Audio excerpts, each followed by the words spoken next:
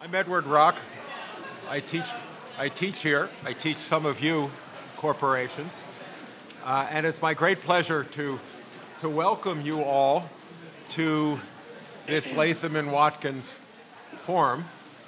Uh, we, have a, we have an absolutely spectacular panel to discuss uh, what is really the, the, the most important issue in corporate governance today, which is for whom is the corporation managed, the question of corporate purpose.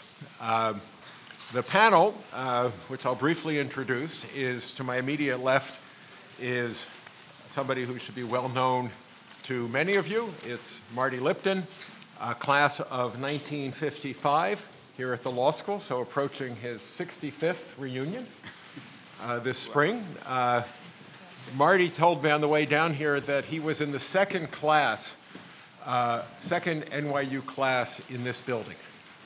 Uh, so the building hasn't been here forever, uh, but it's been here a long time. Uh, and in addition to having taught here for many, many years as an adjunct and now back teaching as an adjunct, uh, Marty's day job has been with a, with a well known firm uh, in the Midtown, up in Midtown, Wachtell, Lipton, Rosen, and Katz uh, which is, as I hope all of you know, is, is genuinely an NYU law firm in the sense that Wachtell, Lipton, Rosen, and Katz were all law students here who were friends here who, a few years after graduating, decided to start a firm together. Uh, to Marty's left is Katie Sudol, who is law school class of 92 um, and is a partner at Simpson Thacher uh, in the corporate group. And as a partner in Simpson Thacher in the corporate group, inevitably, she has done deals for Blackstone, for KKR, uh, as well as for a bunch of other clients, uh, and has been very active. And prior to being in the New York, New York office, was in the Hong Kong office. And to Katie's left is Tony Welters, who you should all recognize from the beautiful portrait that you pass as you, as you come into the building, and Tony is the immediate past chair of our Board of Trustees. Uh, but for our purposes, uh, Tony is the founder, was the founder of a very successful healthcare company called AmeriChoice, uh, which he founded in 1989 and then sold to United Health in 2002, and then continued his business career uh, with United Health. Uh, and now is doing a variety of other things is a director of a variety of major corporations. And so we have a variety of perspectives here. Um, I want to start with just a few words of background for the Business Roundtable letter that garnered so much attention uh, recently. In 1997, in 1997, the Business Roundtable issued a statement that opened with the following words the Business Roundtable wishes to emphasize that the principal objective of a business corporation is to generate economic returns to its owners. And they go on to say that while there are many who contest this proposition and believe that corporations should serve uh, various stakeholders, uh, the Business Roundtable does not view these two positions as being in conflict, but it sees a need for clarification of the relationship between these two perspectives. It is in the long term interest of stockholders for a corporation to treat its employees well, to serve its customers well, to encourage its suppliers to continue to supply it, to honor its debts, and to have a reputation for civic responsibility. But, they then go on to say, in the Business Roundtable view, the paramount duty of management and of boards of directors is to the corporation's stockholders. The interests of other stakeholders are relevant as a derivative of the duty to stockholders. The notion that a board must somehow balance the interests of stockholders against the interests of other stakeholders fundamentally misconstrues the role of directors. 20 years later, in a very different uh, social and economic setting, the Business Roundtable then revisits this question and in its recent statement uh, made the following statement. While each of our individual companies serves its own corporate purpose, we share a fundamental commitment to all of our stakeholders. We commit to delivering value to our customers, investing in our employees, dealing fairly and ethically with our suppliers, supporting the communities in which we work, generating long-term value for shareholders. They go on to say each of our stakeholders is essential. We commit to deliver value to all of them for the future success of our companies, our communities, and our country. What's so striking, of course, in the Business Roundtable statement is there's no statement on parallel to the 1997 statement as to whose interest, if any, is paramount. Doesn't say no interest is paramount, but it doesn't say whether any interest is, is paramount. That, as you know, that statement got a tremendous amount of publicity. Uh, the Council of Institutional Investors, which represents many public and private pension funds, came out almost immediately with a statement in response, uh, contesting the Business Roundtable statement and essentially endorsing the 1997 approach. And Elizabeth Warren, six weeks or so later, responded by letter to uh, Jamie Dimon, the chair of the Business Roundtable, uh, in which she points to her Accountable Capitalism Act and asks Jamie Dimon and the Business Roundtable to be more specific on precisely what they intend to do to implement these words that they have in their August 2019 statement. So, this is a set of questions. This is an issue that now is, is very much part of the corporate governance debate, a debate that spans corporate law, finance and management, and politics. Corporate governance sits at the intersection of those three areas.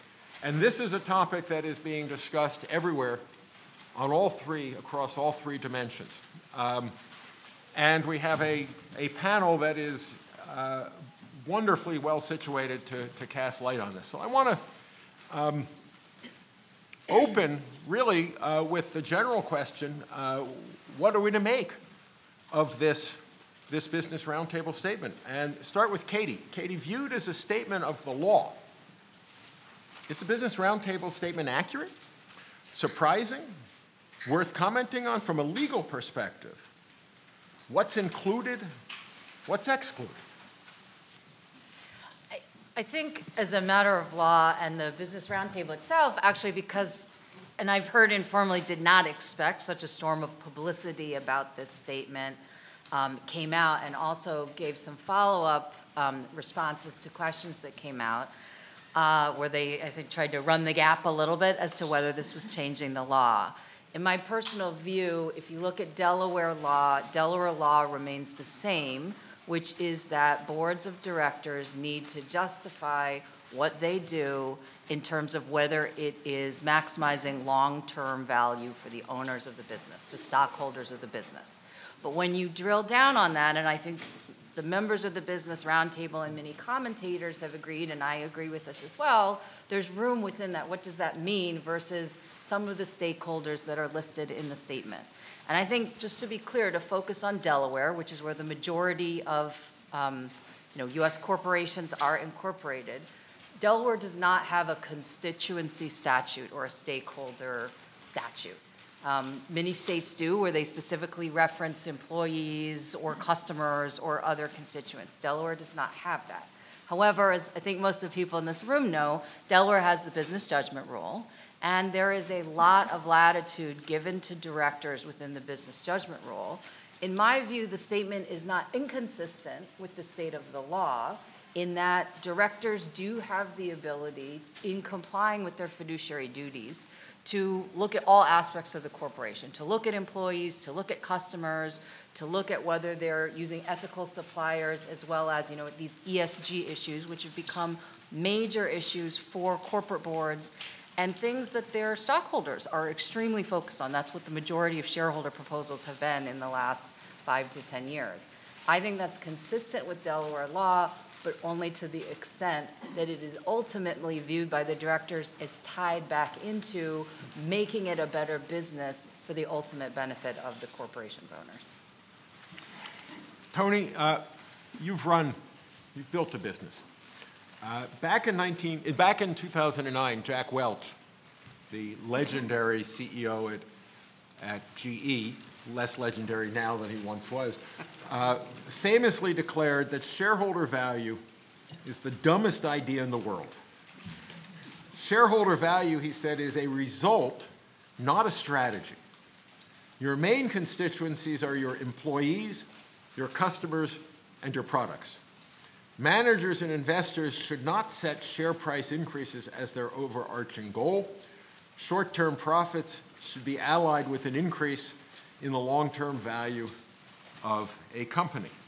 What do you make of the Business Roundtable statement from, a, from the perspective of somebody who's run a business? One, I was surprised that it, um, it was unique in its statement, um, meaning this it's hard for me to understand how anyone could build a successful enterprise thinking that your sole obligation is to focus on one cohort. It's been my experience in building businesses, you build them as a team with a broad-based group of constituencies. And it's very easy near term to make decisions that will appear to protect the long term, generally short-term decisions do not yield long-term results. And not recognizing core constituencies, if you will, stakeholders, in those calculations is a critical error. Because at the end of the day, you're competing against people and you're, you're trying to attract people. You know, I, the businesses that I've, I have built always rely on other people to help us be successful. And in return for that relationship, we always thought about them. And I guess because much of my time has been in healthcare, fundamentally, you have to think about a broad group of constituencies and not just shareholders. Shareholders can be rewarded for value, but there are a lot of other metrics to achieve that value. Marty, you've, you've been a leader in trying to get people to rethink uh, their, their views of corporate purpose, of the role of the corporation, of the role of, of shareholders. How do you see the Business Roundtable statement fitting in to the public conversations over corporate governance? Well, obviously, the Business Roundtable statement is reflective of what I would call current social and political thinking. Putting aside what the law might be, uh, clearly the Business Roundtable uh, uh definition of purpose of a corporation is one designed to meet the current concerns with respect to many different issues, but the two primary issues are one, climate, that uh, the, uh, it's no longer in any way acceptable for a corporation to not uh, reflect the concern with climate and the concern with carbon and all of the other things that relate to, to climate. The second, uh, and equally significant really, is inequality. Um, that it's not possible for a corporation today to not reflect concern, one, for the absolute wages of its employees, Two, the training and retraining that is a product of technological disruption. Three, uh, healthcare. And four is retirement. And uh, in fact, uh, corporations since the end of the Second War have basically offloaded each of those uh, areas of employee concern, either on the government or just on the employees themselves. So that um, one of the causes of uh, populist um, discontent is the uh, actual decline in effective real income of the average working person in the United States over the last 35 odd years. So, uh, in large measure, no government can long tolerate that, and uh, uh, that's why you get changes in government, not just here, but um, uh, the Brexit, Brexit situation in the UK, and basically um, in uh, Western economies uh, is reflective of uh, a disproportionate share of corporate profits going to shareholders rather than to uh, employees and other stakeholders. So that um, if you step back and look at it from a societal uh, standpoint, uh, it's clear that shareholder primacy and maximizing value for shareholders will not stand up. Now, there are those of us who think that they do not have to stand up because that was never the uh, intention of the corporate law in Delaware. It's nowhere in the corporate law of Delaware. Uh, and that the uh, statements in some cases uh, that uh, would indicate that the Delaware courts agree with it are really dictum and not decisions in those cases. I, for one, believe that the law of Delaware is that the purpose of a corporation is to run a successful business and uh, to run it in a way that increases um, its worth over a period of time. Not maximize its value for shareholders, uh, not maximize its value at the expense of stakeholders other than shareholders, but that the board of directors has a fiduciary duty and must use its business judgment to allocate among the stakeholders uh, of the corporation. And uh, that in undertaking that allocation, they have to keep in mind that the business should continue to be successful and that the business should continue to grow its value.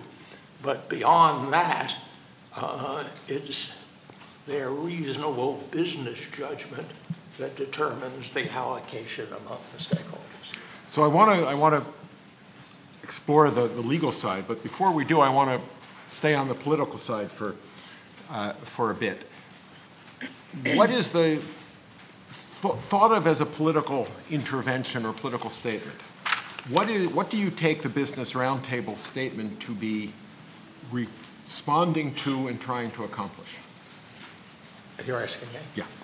Well, I think it's um, basically responding to two things general pressures with respect to um, the purpose of a corporation, keep in mind that this issue is not brand new this year. Uh, it uh, dates back, in fact, to the 1960s when Milton Friedman first came up with the concept of shareholder primacy. and uh, the debate between uh, two Nobel laureates, um, um, Friedman on one hand and Joseph Stiglitz on the other hand, has been going on. Uh, all of this stems from the acceptance um, um, by the University of Chicago group of economists in the 60s and 70s of some theories that had developed uh, in academia in Austria. Austria and um, it reached its climax in 1970 when uh, Milton Friedman had an op-ed in the New York Times Magazine basically saying that the sole social purpose of a corporation is to maximize value for shareholders. There are several different uh, variations of that, but I think it's a fair, uh, fair statement of what the Friedman view has been. The most important aspect is not the exactly what the statement is or what the boundaries are or so on, or what the law is. It's what happened in the business schools and the law schools after that statement was made. Um, and in large measure, um, throughout uh, the U.S. And, and pretty much throughout the Western world, it caught on like wildfire. And the, every business school was graduating MBAs, knowing that their job was to maximize profits for shareholders. And it was rare um, that um, law schools were teaching stakeholder uh, governance rather than uh, shareholder primacy. Um, and um, the, um, the real difference from an economic standpoint, take um, Friedman and add over here uh, um, Eugene Fama, who developed the efficient market theory, another Nobel laureate, uh, Michael Jensen, who was at Chicago and at Harvard, who developed the uh, theory of agency cost um, that um, basically picked up from Adolf Berle in 1932 that in large measure shareholders had to have the power uh, as uh, the owners uh, to uh, tell management, the directors, how to run the company so as to avoid management taking advantage of the shareholders. So those three economic theories uh, became dominant, essentially, um, in academia and in the business schools, and therefore as a practical matter. Uh, there was very little uh, concern. Uh, there were no stakeholder statutes uh, uh, in existence um, this period. When the takeover activity started to increase dramatically in the 70s and 80s, suddenly the issue became, what are we doing here? Uh, do uh, uh, we run a company for the shareholders, or do we uh, run a company uh, to continue to have a business? Do we just sell a company anytime somebody comes along and wants to buy it, and so on? So this big debate started on shareholder primacy and stakeholders I got into the debate in 1979. I wrote an article uh, uh, um, uh, urging, pushing, uh, saying that stakeholder uh, governance was the appropriate uh, legal approach to it and so on. This debate just continued on, I won't go into details, through the 80s, 90s.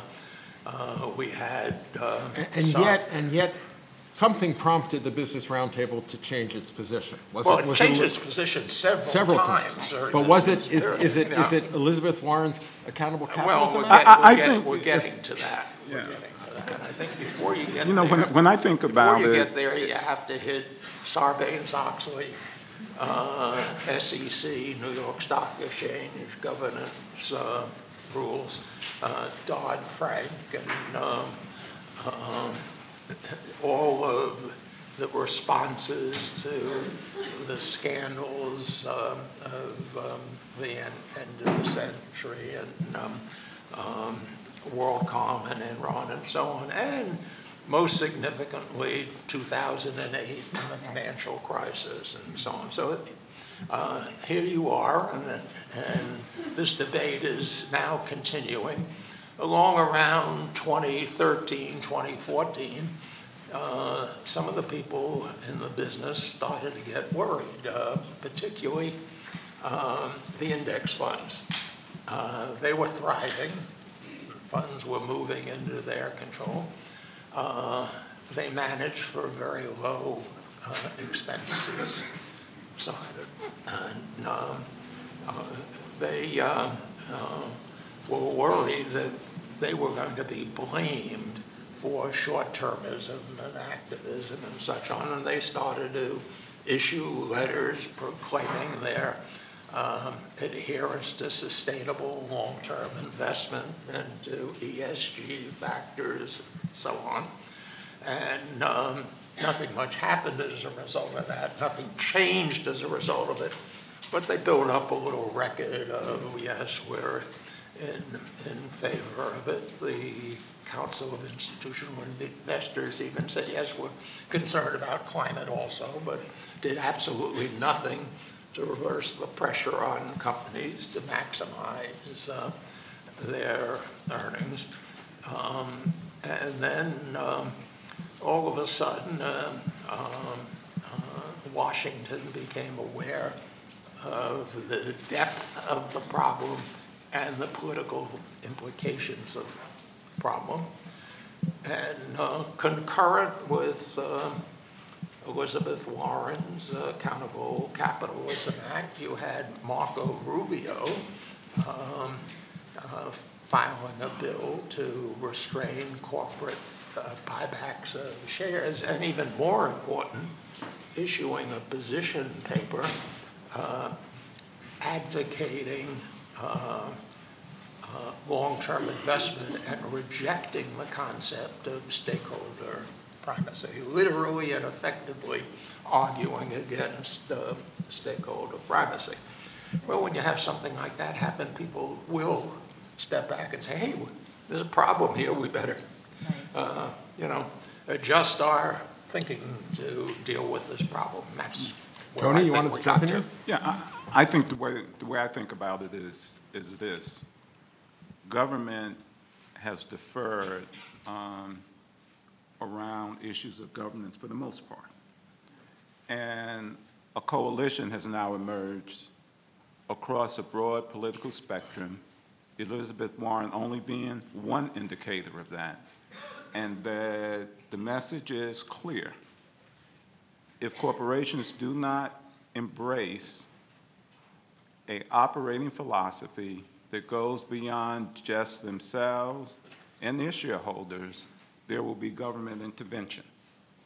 And that this is causing corporations to take a step back and say, how do I best demonstrate that I bring value add to the society above and beyond the fact that I know how to operate a profitable enterprise?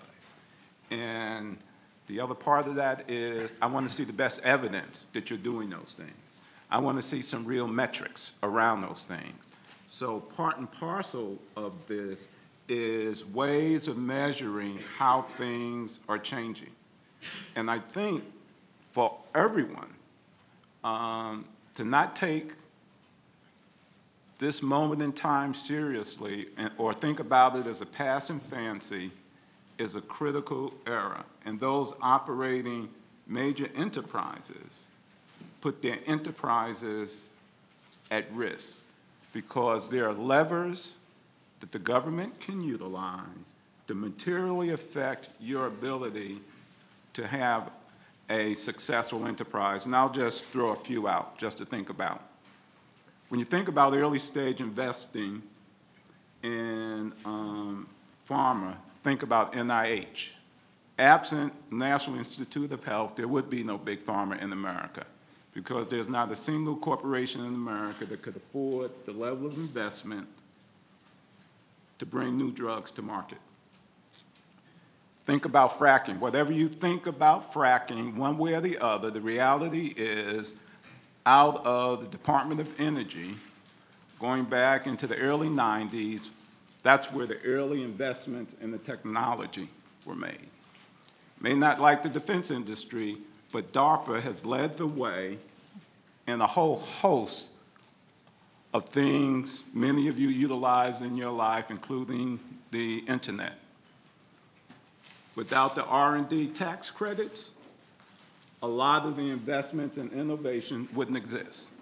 So government is now saying, I want to see you, the corporation, demonstrate in tangible ways that you recognize there's an obligation that goes beyond just your shareholders and shareholder value. I would say parenthetically, if you want to have a sustainable enterprise, you better take into account all of your constituencies and not just one. Let me, let me follow up on that and, and press you a little bit. So in the 1960s, late 60s, the debate was over corporate social responsibility. And it's that debate that Milton Friedman in the famous New York Times Magazine article in 1970 called The Social Responsibility of Business is to Increase Its Profits. It's that debate that he was entering. And he said the following He said, whether blameworthy or not, the use of the cloak of social responsibility and the nonsense spoken in its name by influential and prestigious businessmen does clearly harm the foundations of a free society. I have been impressed time and again by the schizophrenic character of many businessmen.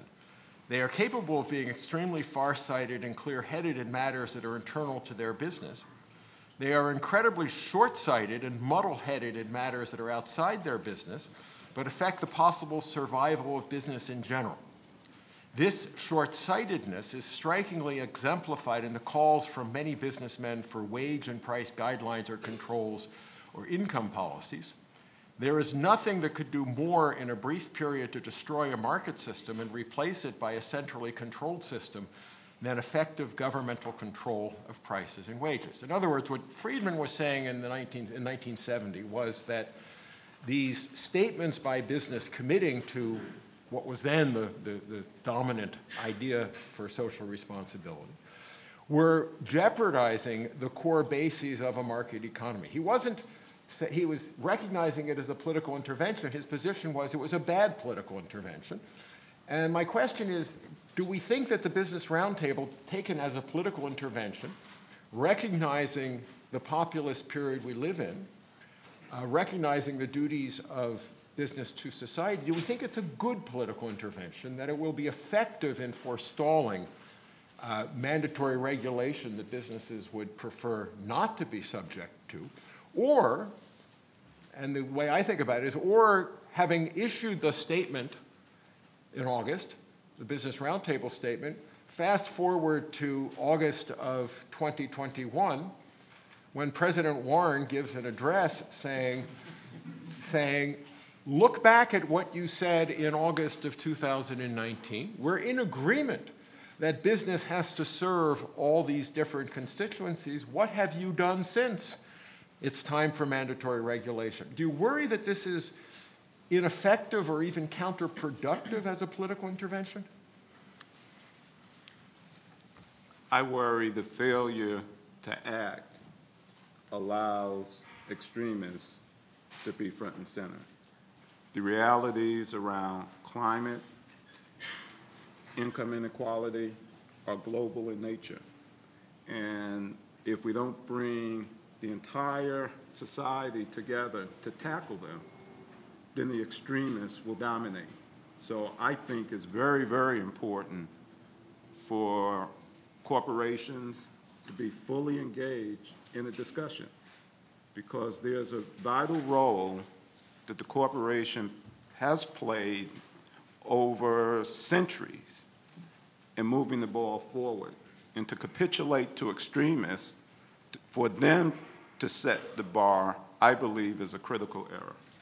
Katie, what are you hearing from your clients? I, I, I I agree with that. And I mean, sort of in response to a lot of your questions about how did this come about, look, we do have extreme income inequality. And I think a lot of these corporations were looking at very strong voices in politics and a lot of the American public saying, okay, maybe unemployment is where it is, but you look at how much American wages have increased compared to CEO pay, even after what happened um, you know, during the global financial crisis, and now look where it is back again. That's unfair.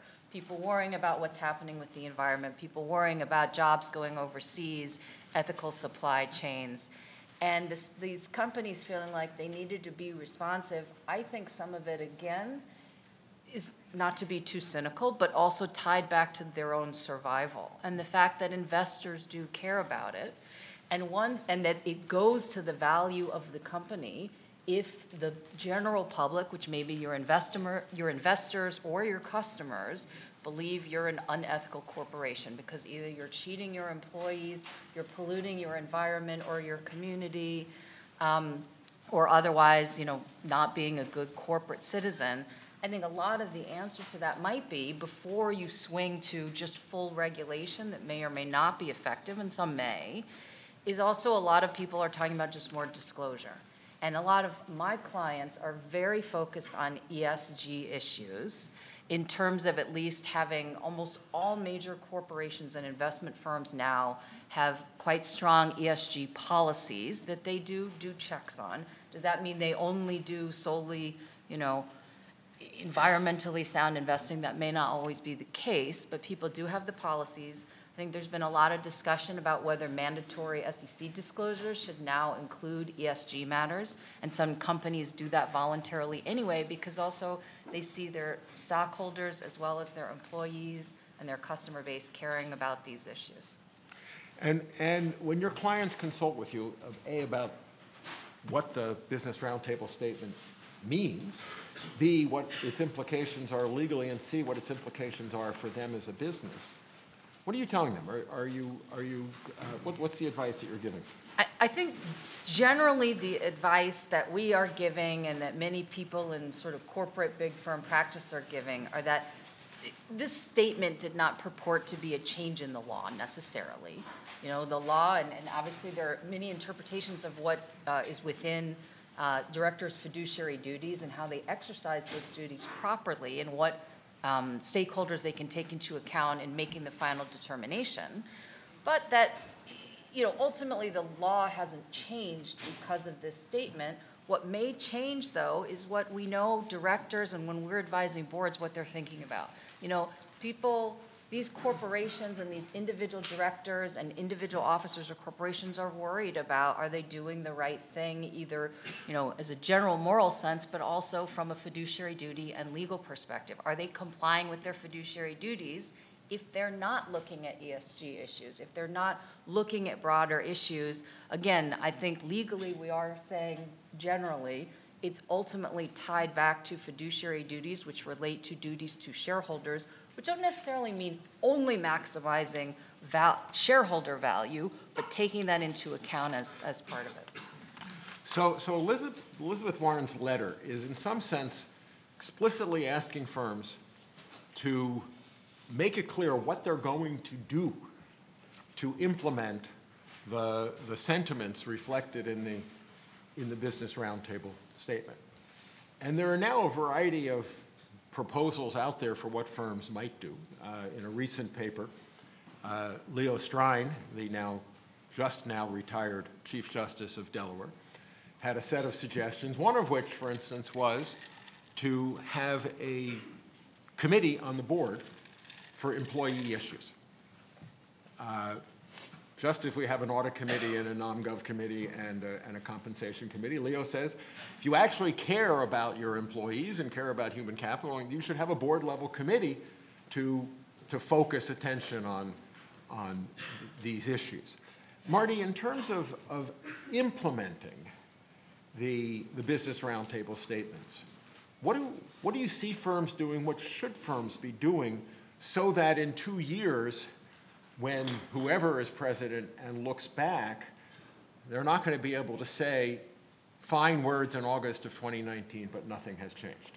Well, companies are caught in the middle of uh, this debate, in effect, and basically they're doing the best they can to try to satisfy the investors who are still looking for regular increases in earnings and um, uh, the value of, of the stock. The, the problem that business is faced with is on the one hand, uh, the desire to deal with ESG and sustainable long-term investment.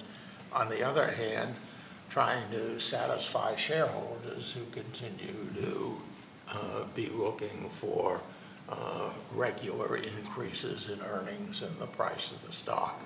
Uh, that problem is not easily resolved. It's not, uh, no one company has come up with a solution for it. But solutions seem to be on the horizon. Um, in the UK, they just adopted a revised um, uh, stewardship code for asset managers, uh, institutional investors, that uh, basically require by disclosure uh, and an explanation, if not, um, the investor's position with respect to each of these issues, so on. Um, the, um, in France, um, the government appointed a commission that is reporting tomorrow morning on uh, dealing with activism and dealing with the relationship between uh, companies and their investors in order to facilitate long-term sustainable uh, investment. Uh, I could go on. There are a, a series of uh, efforts being made currently to uh, achieve an accommodation between, and I'll call it the need of investors for um, uh, increase in the value of their investments and the need of companies to really meet these stakeholder uh, objectives. Uh, the investment business, the, the managers of uh, investment funds are in a very competitive business. And it's a business that in large measure focuses on quarterly results. Uh, take um, the New York University Endowment. It's one of the smaller endowments uh, uh, in uh, uh, the university world. It's uh, every quarter the managers of the endowment report to an investment committee of the Board of Trustees as to uh, the results for that quarter. And it's a comparison with the S&P 500 results, the MSCI results, benchmark results, and so on. And in large measure, the amount of funds that a manager can attract uh, is the product of its competitive uh, results of uh, investment as against the other investors, uh, other asset managers that it's in competition with. So there's the theoretical question and there's the practical question. And uh, the theoretical question uh, cannot be answered without regulation unless, as a practical matter, uh, companies and um, asset managers and asset owners embrace a concept of long-term sustainable investment and try to take the pressure off uh, short-term results. And uh, I don't know whether that'll happen or not. Uh, people are trying to effectuate something that would achieve that. Uh, interestingly enough, Hermes Investment Management, not the, not the tie company, uh, uh, one of the most successful and largest investment management companies on October 28th adopted a new um, um, uh, stewardship statement in which it embraced uh, long-term sustainable investment and attention to, to ESG uh, matters. So it's out there. Uh, people are working on it, trying to achieve it. Um, I was asked by the World Economic Forum uh, five years ago to develop um, a paradigm that could be um, um, adopted by companies and um, um, asset managers uh, uh, and um, uh, call it the new paradigm. It's still kicking around. It's still under consideration. Uh, I'm actually trying to encourage the Business Roundtable and the Investor Stewardship Group here in the U.S. to sit down together and uh, negotiate a paradigm in which uh, the investors are going to uh, give support to companies that are doing a good job in both operations and meeting uh, uh, stakeholder uh, issues. none of it's easy. Um, none of it's going to happen overnight.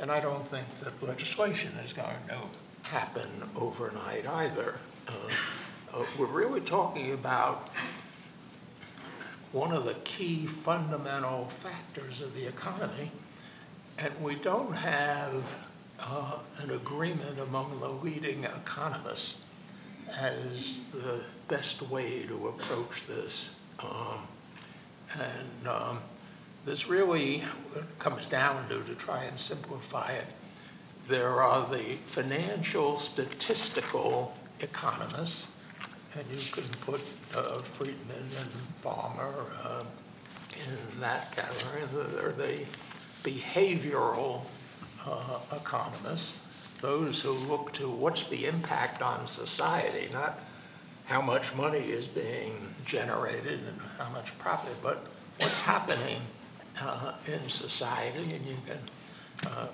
put currently Robert Shiller and uh, Thomas Piketty in that uh, that group. That um, and there, I'm uh, I'm a behavioral. Uh, I wouldn't call myself an economist. I I accept the behavioral uh, economic theory, not the, uh, not the statistical. Uh, and the same is true in, in legal academia. Uh, um, and uh, there are those who, who view one or the other as um, the answer to, uh, or at least the means to the answers to these questions. but nobody can be sure sitting here today uh, what's going to happen. But you do have to look at the global economy uh, and uh, the question of whether um, uh, competitive market economies can, as we go into the future, compete, compete with state corporatism. And uh, I think the, that that question will be the dominant question going forward in the next decade or two.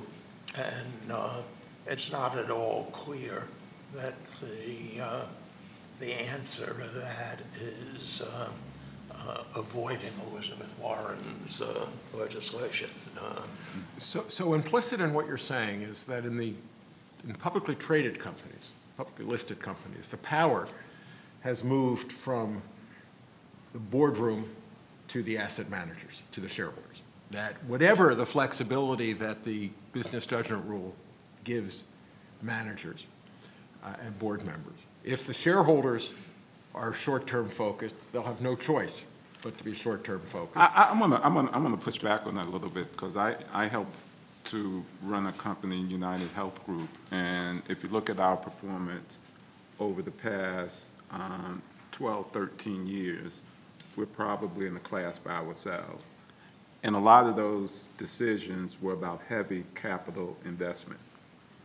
Conscious decisions about trading off quarter to quarter by making those investments.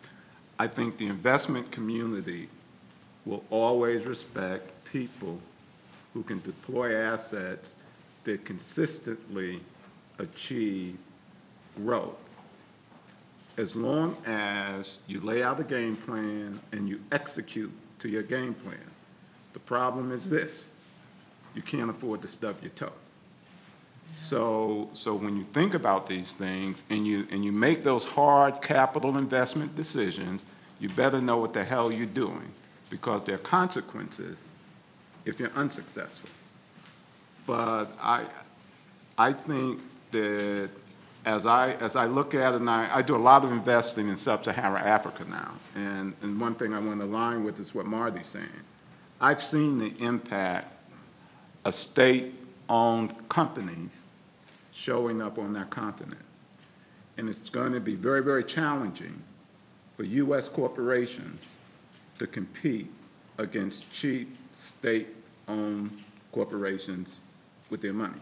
So what we have to do is to attract talented people, reward them, put the wind at their back, so they can be the next generation of extraordinary performers. Because if you can't do that, you can't compete. This notion of quarter to quarter is something, in my view, that is not sustainable. So let me follow up on that, because you're on the board of Carlyle, and Katie, you do a lot of work for Blackstone and KKR, Silver Lake. There's an alternative to public markets. Private equity has made a very big business out of providing a, a more sheltered, but also more demanding environment for, for running businesses. That is to say, more sheltered, you're sheltered from quarter to quarter uh, pressure from shareholders, but you have shareholders who are real owners who will fire, fire you if you don't achieve the goals. What are you hearing in terms of from the, the on the, the private equity side? What are you hearing in terms of the reaction to the Business Roundtable statement, the, the, this problem that Marty identifies of, of shareholder pressure in public markets? What are you seeing in terms of currently firms that are view it as better to be in the hands of, of private equity rather than the public markets? So I, I will say, you know, and, and private equity is definitely, you know, viewed as the bad guys by Elizabeth Warren and by many other people in politics today. Um, I think the reaction generally, and you'll note uh, Carlyle, um, the, the chairman of Carlyle, the chairman of Silver Lake were signatories um, to the Business Roundtable statement. Um, the chairman, Steve Schwarzman, Blackstone, uh, did not sign on. But ultimately, I think as a general rule, and this applies to, to Blackstone, for example, as well, even though they didn't sign the statement, as I said before, private equity is laser focused on ESG issues. Um, a lot of it has to do with the fact that the thing that keeps them up at night is reputation.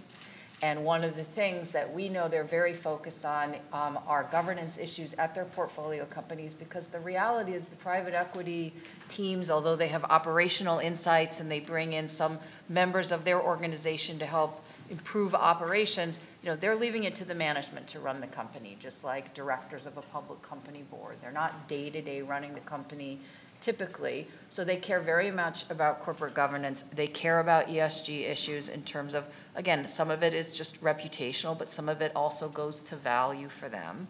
I think what we have heard is generally the statement is supported. Again, we are asked the questions by private equity as well as our corporate clients. What does this mean for us in terms of our legal liability? Um, But ultimately, I think, supportive.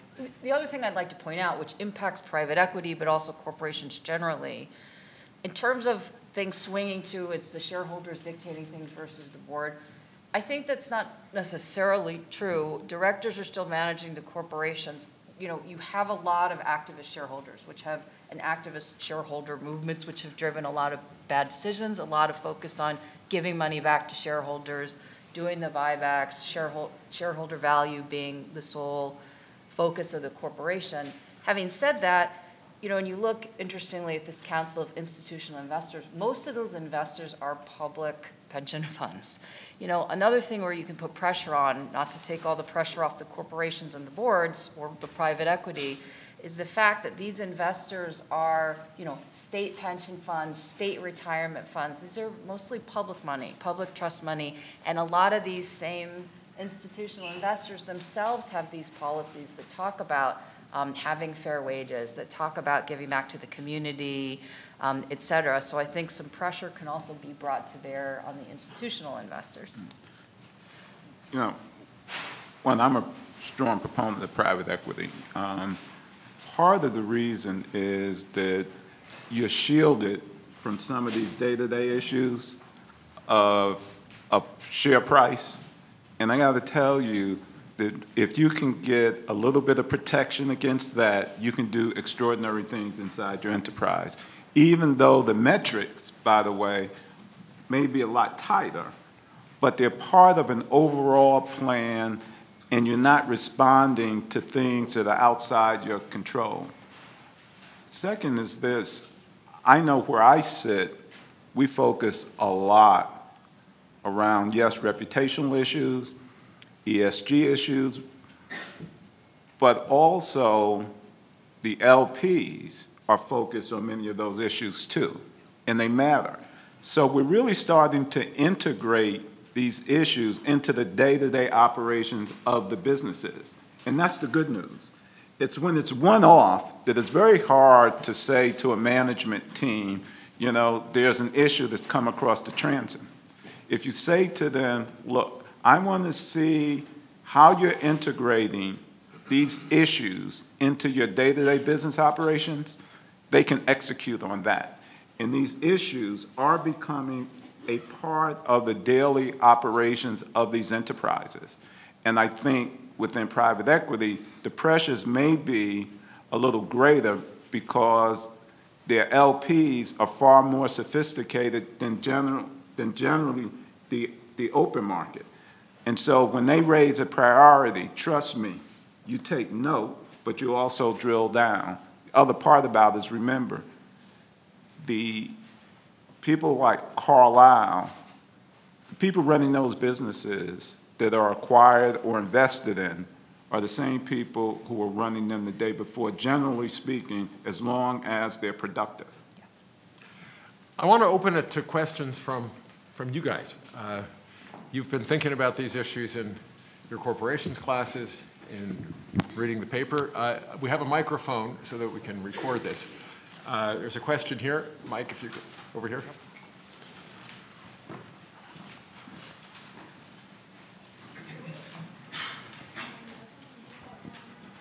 Hi.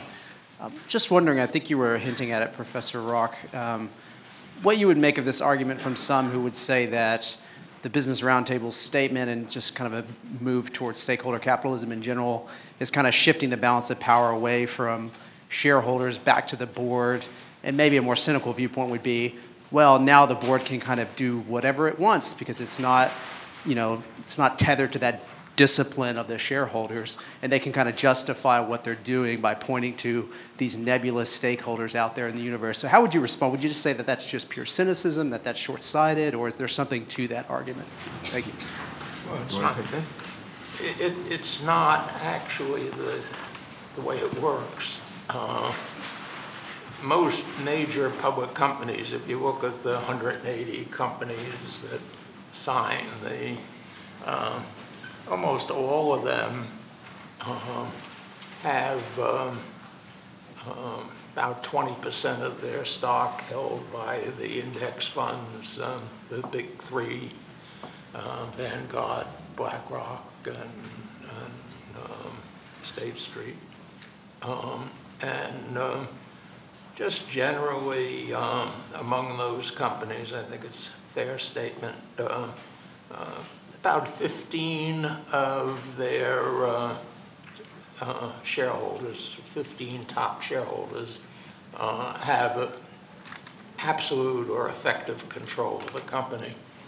So the boards of those companies, the managements of those companies, uh, are trying to communicate with those shareholders regularly, trying to make sure they understand the company's strategy, the company's operations, that they're not surprised by changes and expectations and so on.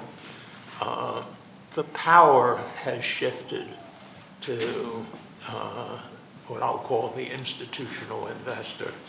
And um, uh, if you just look at Fidelity, Capital, T. Rowe Price, and Vanguard, um, BlackRock, and State Street, you're, you're basically looking at uh, more or less practical control of all the major listed companies. So um, when it's a question of power and the influence, um, it clearly one of the key things that's happened, and Professor Rock mentioned it in the opening, we've had this shift over time uh, to where um, big uh, professional investment managers have a much greater voice than uh, shareholders generally did.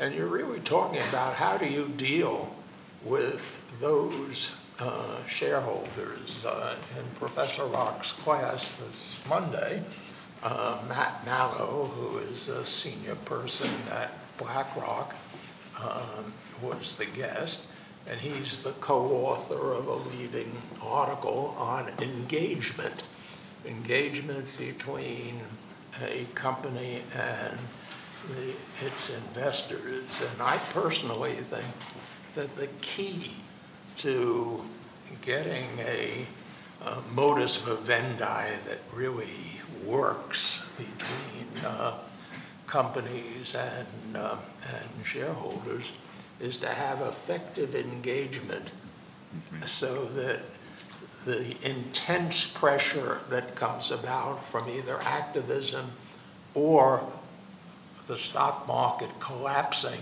when there's a disappointment in quarterly earnings, which uh, is heavily felt by the directors at And if we could solve that, I think we've solved the uh, need for a less volatile, a more tranquil relationship between companies and, and their investors. And that's I, that's what I think has to be the focus going forward. Uh, it's not easy to solve, but if you solve that, I think you solve most of the other problems of this type. Katie or Tony, you want to respond to the I question? I was just saying, I, I think the answer to the question is, um, the, yes, actually, the Council for Institutional Investors statement said exactly that. Oh, well, you're saying you have accountability to all these different stakeholders, that means you have accountability to no one. We want you only to have accountability to the shareholders. I think it is an attempt to try and wrest away that focus only on institutional investors and stakeholders. I mean, interestingly, you know, the chair, chair of BlackRock was a signatory to uh, the statement as well, um, but to try and bring it back to the boards and have them be able to have a more broad focus. Um, I mean, in terms of the quarterly earnings, many people have talked about whether um, quarterly earnings releases should be eliminated to alleviate some of the short-term profit um, focus on corporations, allow them to execute more long-term strategic plans without getting punished for a dip in quarterly earnings.